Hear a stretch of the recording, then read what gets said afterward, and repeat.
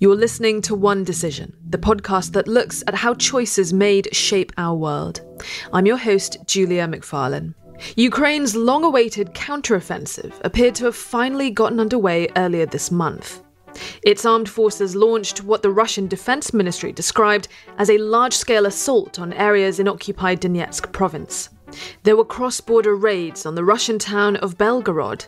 Some gains were made in the western end of Bakhmut, the symbol of Ukrainian resistance that was recently overpowered by Russian Wagner mercenaries.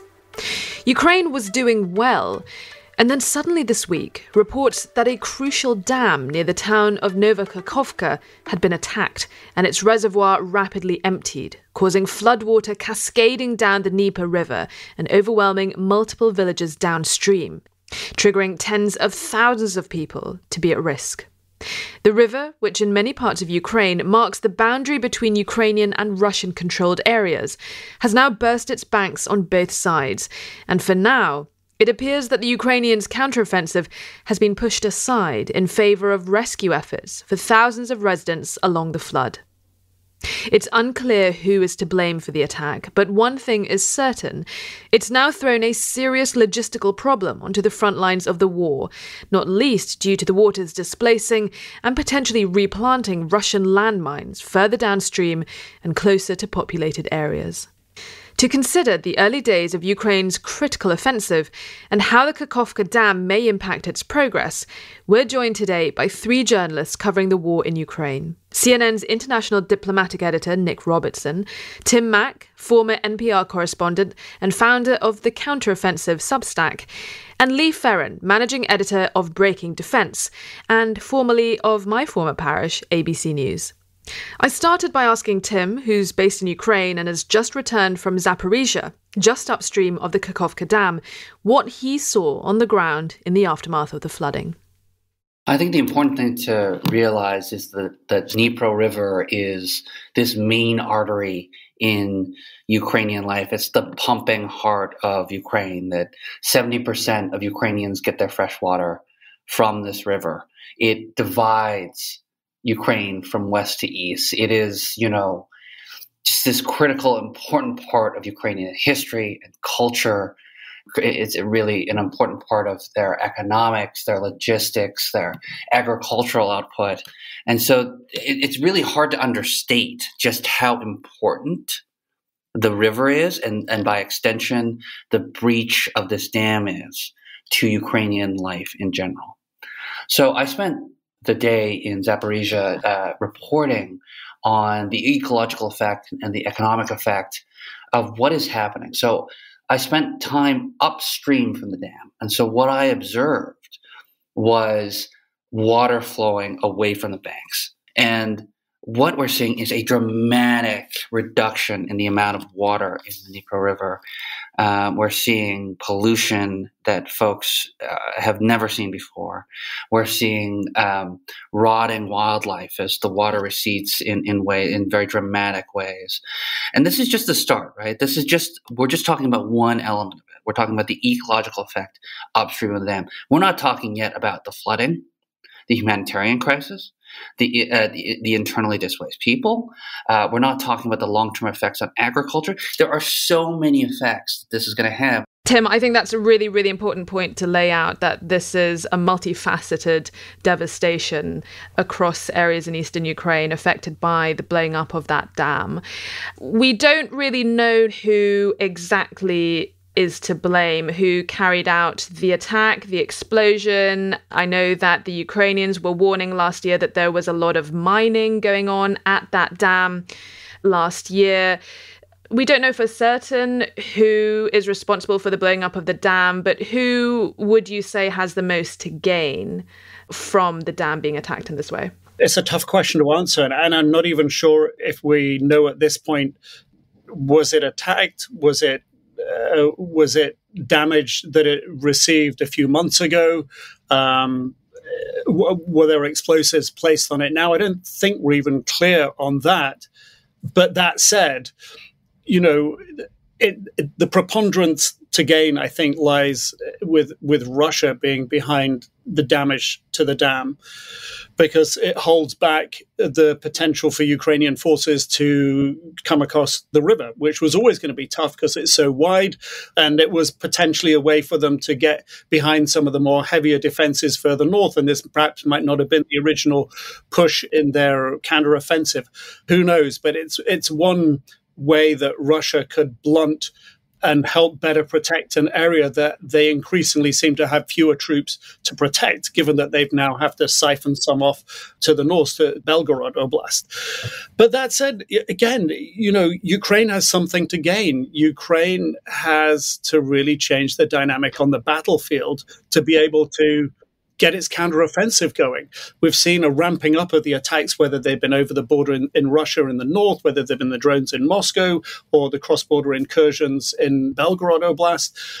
Or deeper behind Russian lines. We've just seen this sort of ramping up. And I don't think you can rule out the potential that Ukraine can gain some kind of initiative or advantage or destabilize Russia's thinking. But but for me, the preponderance seems to come down on the side of Russia, most likely being responsible. Nic, the timing of all this is interesting because we we've started to see in the last few days Ukraine potentially beginning, if not their counteroffensive, certainly new moves to try and possibly set that up. They've we've been hearing a lot about these so-called probing attacks, these uh, short-range attacks in, in areas of eastern Ukraine where the Ukrainians may be possibly trying to open up some lines in different Russian positions.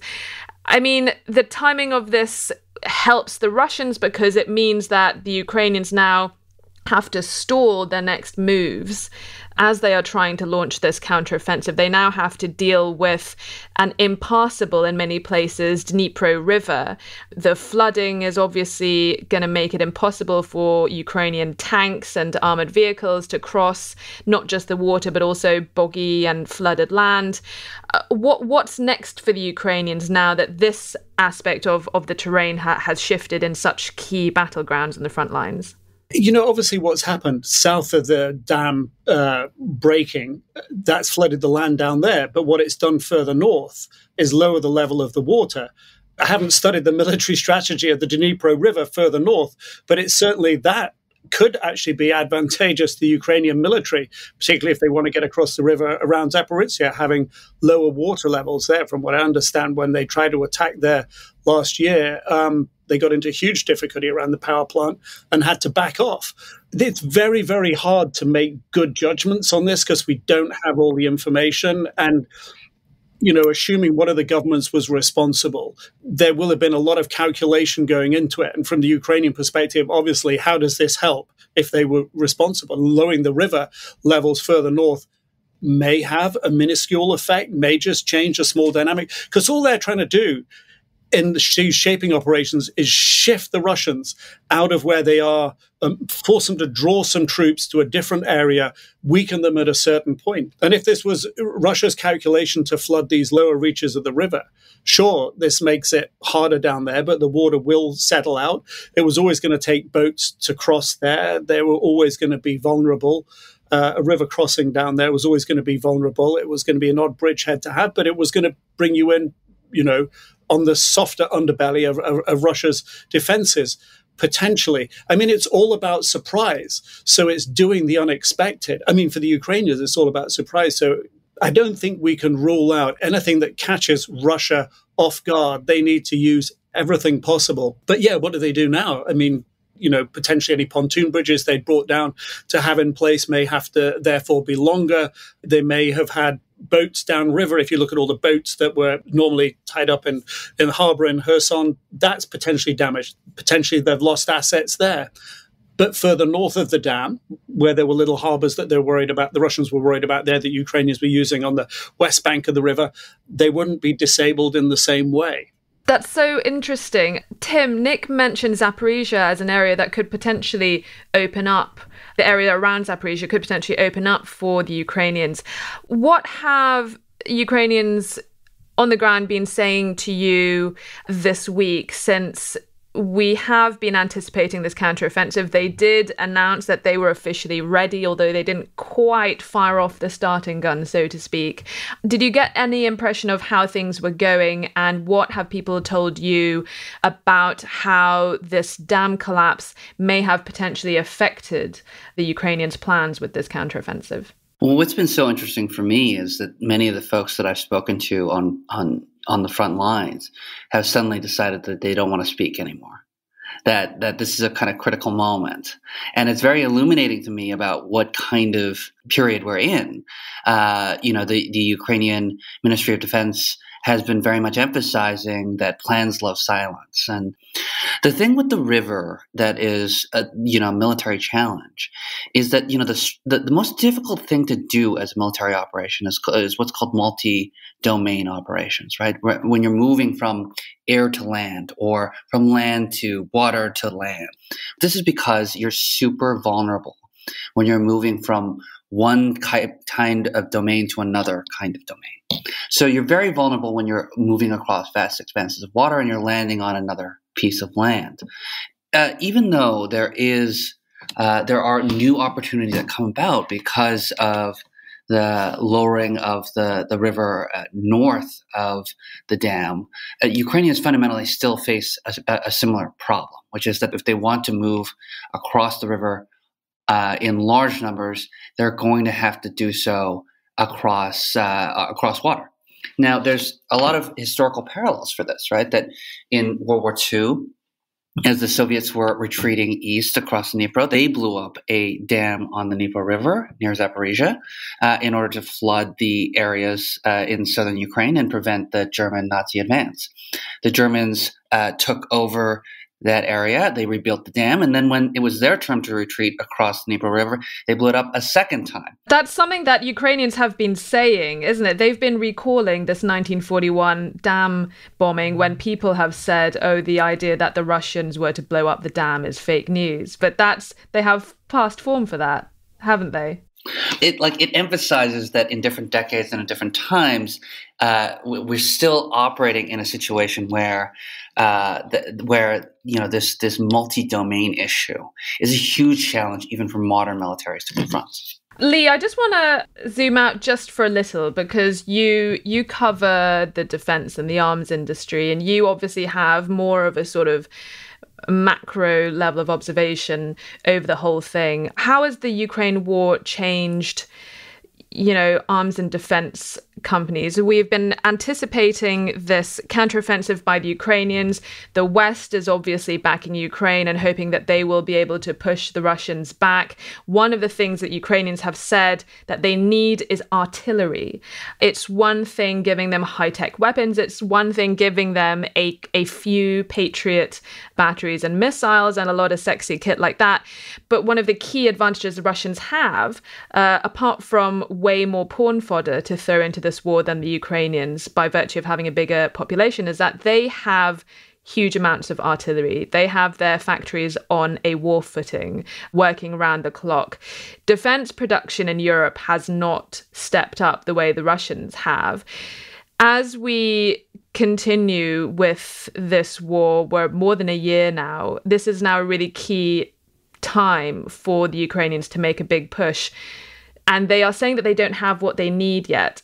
What is the arms industry sort of you know how are they reacting to this? Is this is the war a bonanza for them or is it all wrapped up in politics as the, as the politicians continue to be a bit stalled behind the scenes? Um, I think, as with most, thing, most things, it's uh, a little of both because it's certainly been a bonanza for them in the sense that de- demand for all sorts of weapon systems, artillery has never been higher. And you know, you mentioned the kind of the sexier weapon systems that are are debated a lot. The F sixteen, the Abrams, uh, the Patriot, stuff like that. But you know, the the heart and soul of this is artillery, like you said, and small arms and air defense systems and stuff like that. And I think that the companies that make those uh, those rounds, the, the ammunition, the rockets uh, are uh, doing more business than ever. But they're also they feel a bit precarious in that the demand is high now, but they want guarantees from the U.S. government that it'll stay high. That if they ramp up production, if they you know open new uh, new lines of production, when the demand is not so high, are they going to lose a ton of money from that overhead that they've they've already spent? The defense companies want the government to kind of insulate them from, uh, you know, the variations of war and demand and stuff like that. They don't want their business life dependent on how this this war goes. They they want to look much farther into the future and be more stable. And they're counting on the U.S. government to to help them do that by guaranteeing purchases and whatnot. I think that's so interesting, and that's an angle I hadn't thought about before about sort of the arms industries and, and the defense companies if they ramp up production, they will need to sustain a bigger scale of manufacturing. And that's perhaps why, that's one of the reasons why we're perhaps not seeing such a flood of weapons to Ukraine when there's a lot of countries who do want to see that happen there is quite a flood of weapons. I mean, the the U.S. has sent upwards of forty billion dollars now worth of weapons and, and small arms. Uh, you know, hundreds of millions of small arms around stuff like that. So I don't I don't think, at least from the production side, there's not uh, much of a question about the the need for it or anything. There is there remains the question of capacity and supply chain issues and the will or the political will to to guarantee that these things you know won't go to waste. It's so interesting how this invasion has really shown how important battlefield logistics is and things you know the boring stuff like procurement and supply chains. Uh, the less sexy stuff is actually pretty critical to ensuring battleground success. Nick, the Russians haven't had such a great run of that lately, and there's been a lot of speculation that it, this is down to corruption and cronyism and and things like that. But it's interesting because some of the Russians' battleground wins have been achieved through mercenaries. And we've had the Wagner group and Yevgeny Prigozhin, who heads that group, the well publicized taking of Bakhmut, this town that has been at the center of a lot of fighting and has become really symbolic as the months have gone by. That town apparently taken by the Russians with the help of these mercenaries who have now withdrawn. Prigozhin withdrew his mercs and they've been replaced by general Russian uh, army soldiers. But Prigozhin is continuing to have quite a lot of friction with Russian army generals and, and leadership, as has the Chechen warlord Ramzan Kadyrov. We have been speculating about how obviously this war has taken much longer than Putin originally anticipated and that it could end up being an existential threat for him. Um, what do you think the biggest vulnerabilities are at this stage? The defense minister, Sergei Shoigu, and the, and the army chief of staff, military chief of staff, uh, I think Valery Gerasimov, they're still there. You know, Putin clearly has a level of faith in them. But, you know, why he has that level of faith in them, despite the criticism from uh, Yevgeny Prigozhin, the boss, mercenary boss of Wagner, isn't clear what we know about Putin is he's an arch manipulator. Uh, he controls the situation. I, I, mean, we wake up again today and hear Prigozhin letting off steam again about about Shoigu and the Russian troops. There is no way that this guy, who is a close friend and has been for years of Putin, gets to say all this stuff and gets away with it without Putin either being absolutely on the complete back foot or using it as a, as a measure of just divide and conquer. That at some point uh, Putin would go, yeah, it's the army that got it wrong, or Prigozhin, that's it. it enough from you. You're going to be a political threat for me. You, you know, I'm done with you. You're used, and that and that's over. Or or or did you just put lets them all get back in their boxes whenever all of this is over. I think it just presents Putin with options. I think that's the re- the reality here is that this is a play and I, I mean that in, a, in the pejorative term because what Prigozhin has to say and his criticism, Putin would not tolerate from anywhere else, perhaps uh, only other from, from the Chechen leaders. So, how much does he really need Prigozhin? Militarily, Yes, but does he need him as a thorn in the side to the military to keep the military moving, or does he just need him as a potential scapegoat or to set up the military as a potential scapegoat in the end? There's a lot of smoke and mirrors. The reality, where, where the reality kicks in, is in the battlefield. Goshen said he wasn't getting enough ammunition. His troops have pulled out. Russia's military forces are there. The Ukrainians seem to be making some more. I'm talking about Bakhmut. The Ukrainians seem to be, over the past few days, making some more incremental gains around the around around the edges, particularly the northwest of Bakhmut, I think, at the moment. These are tiny, tiny gains, But is that because Prigozhin has gone? He was certainly willing to treat these former prisoners that he got out of jail as absolute expendable cannon fodder in the fight. Um, that's what the Ukrainians say they witnessed. And the other really interesting thing that has happened is we're seeing increasing potential incursions into Russia. We've seen these attacks in Belgorod, which we've seen these cross border raids, these drone attacks on Moscow. I think it's interesting because a year ago, at, at, the earlier part of this war, the West and particularly the US was terrified about aggravating Putin too much and that any strike uh, if Ukraine were to use any Western made weapons against Russia proper, that would be a dangerous escalation. And of course, there is that ever present threat of, of nuclear war, which Putin has brandished a couple of times, at least with words, and of course, moving some nuclear weapons across to, to Belarus. The, the Belgorod stuff is interesting, and yet we've seen these things in the last couple of weeks this attempted assassination of Vladimir Putin by drones. We've seen this cross border activity and uh, raids on Belgorod.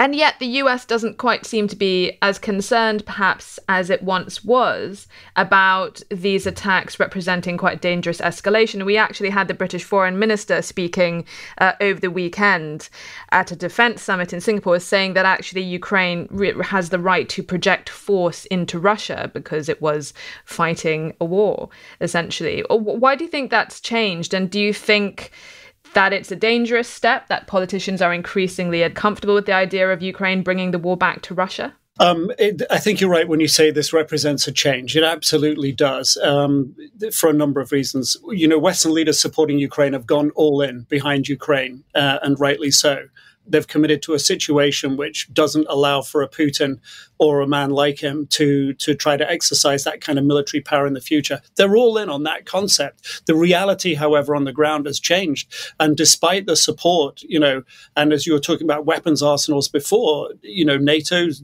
partners, the supporters of Ukraine, have dug into their weapons arsenals and they've come up their ammunition arsenals and they've come up short. They're also, as Lee was discussing, trying to find ways to make sure that the procurement can be stepped up. The European Union has, has tried to find a formula to make that work for weapons manufacturers in Europe. But the reality is, you cannot have the Ukrainians fight with a hand tied behind their back. And I use an analogy of striking over the border.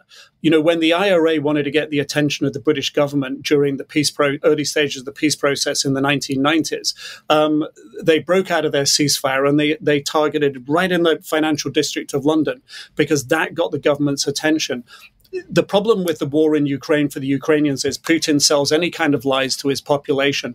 When the attacks start happening on his territory, it's harder for him to hide that kind of thing, like aircraft getting shot down, trains being blown up, small towns getting invaded. So I think the recognition there is that the Ukrainians need to use this tool of crossing the border to put pressure on Putin. And everyone's gone all in. And you're going to get a stagnated fight, which is going to turn into years of potential trench warfare. And this is the kind of stuff that allows Putin to live on politically, that gives him bragging rights is the wrong is the wrong word to use here, but it gives Putin the opportunity to say, "I've stared the West in the eye, and and and here I am, and I've done it." And and I believe that the West has put itself in a position where it can't have that outcome. Wars have a habit of growing; they aren't static things. You know, people Lee probably has a way better handle on this than me, but they, you know, they, they, nothing survives the first contact. You have to adapt, and the adaptation here is that there isn't enough on, on the ground in the country to win the battle in the country, so you've got to do it by other means. And I think that's where we're at. I will. I will say. I think there's a, a connecting thread between uh, any operations in Russia and U.S. willingness to provide weapons to Ukraine, because throughout this whole thing, the administration has been very nervous about escalation and has put limits on what the Ukrainians can do with the weapons that America provides. So you might see this kind of odd situation in which the bolder the Ukrainians get going into Russia, the more apprehensive Washington gets about supporting them. And I'm curious how that's going to play out, especially with regard to if European F 16s come into the mix, that kind of thing. Uh, American Abrams tanks are supposed to be in Ukraine in a few months. I think it's going to be very interesting how nervous the White House gets about all this. Yeah, and I think when you were talking about the British Foreign Secretary saying these saying these things about, well, it's sort of you know, this is a necessary part of the war. These comments he made in Singapore over the weekend.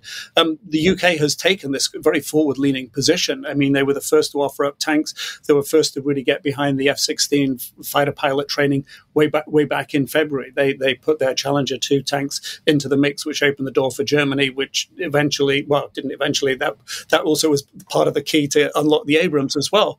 The UK has been kind of bold and pushing out forward. And I think to Lee's point, perhaps some of the European position, the North, Northern Europeans, perhaps they feel more all in than, than Washington may be on this. Obviously, you know, there's a very big election next year and all of this comes into play.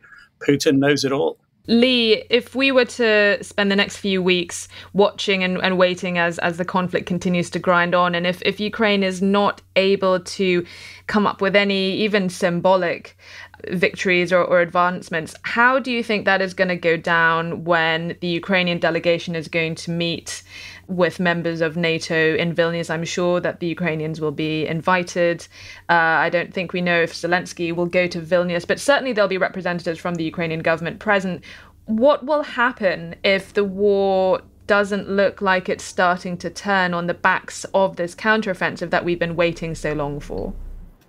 Uh, it would be interesting to see. Uh, personally, I don't. I don't see very much change. I don't think uh, you know the U.S. populace is one thing, but I think the leaders of NATO and uh, are, are, something else, and they seem pretty uniformly behind supporting Ukraine. Uh, you know, Secretary of Defense Lloyd Austin has said.